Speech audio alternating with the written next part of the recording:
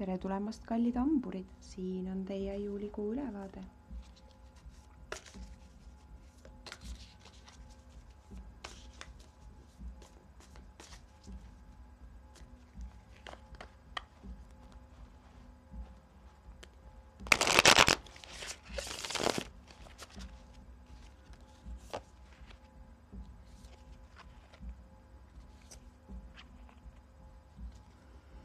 No nii, hamburitel on see kuu väga tugev suhetega tegelemise kuu, ehk siis harmoonia saavutamiseks tuleb vaadata, mida minul on lauale pakkuda.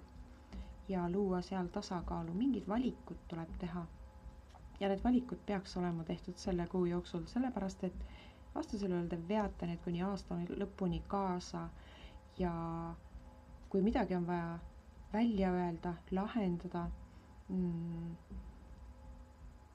millestki loobuda, siis tuleks seda teha praegu.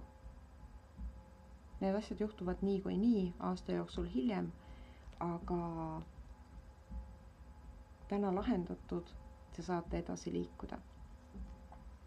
tõenäoliselt võib ka olla tegu väga meeldiva perekonnaseltsis veedetud ajaga, äh, mida te tõesti naudite ja, ja teisalt siin on hästi palju võimalusi äh, suhetes olevatele hamburitele kuidagi sattuda olukorda, kus keegi teile just nagu tähelepanu pöörab või siis, või siis äh, paneb teid mingisuguse valiku ette. Ja suhetes mitteolevatele hamburitele ehk siis vallalistele võib see siis tähendada seda, et teie ellu tuleb keegi, kes teile just nagu pakub seda, mida te olete tahtnud, oodanud ja vajanud.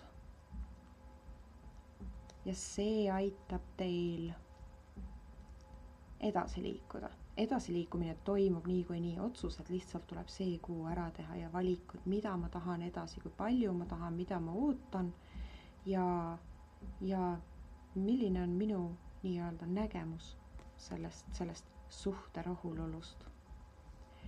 et äh, kõik kolm kaarti on sada protsenti suhetega seotud. seega tööalaselt on teil üsna stabiilne see kuu. tuleb ka lugeda seda, mida meil ei ole siin, ehk siis meil ei ole tööd, meil ei ole äh, meil ei ole muid asju, puhkust küll ma näen, ehk siis suve nautida ja, ja nii-öelda perega koos või, või oma lähedaste inimestega koos mingisugust, mingisugust kas pikniku või, või koosolemist luua ähm,. aga, aga peamine teema on suhted, kas klaarimine,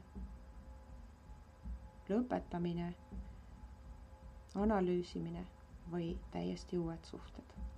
kuidas kellelgi, oleneb, mis positsioonilt, mis lähtepositsioonilt te alustate. aitäh ja olge hoitud!